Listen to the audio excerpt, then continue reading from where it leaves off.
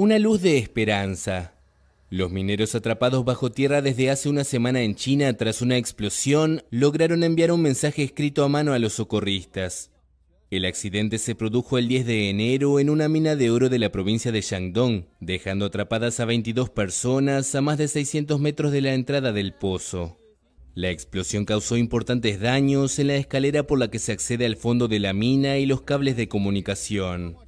En el mensaje, los mineros indicaron que al menos 12 de ellos están vivos, pero que están agotados y que necesitan urgentemente medicamentos para el dolor de estómago, analgésicos, esparadrapo y antiinflamatorios.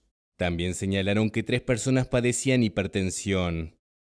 La nota describe que los mineros estaban rodeados de mucha agua y que cuatro se encontraban heridos, mientras que no tenían noticias de la situación de las otras 10 personas atrapadas y dijeron que mientras el rescate continúe seguirán teniendo esperanza.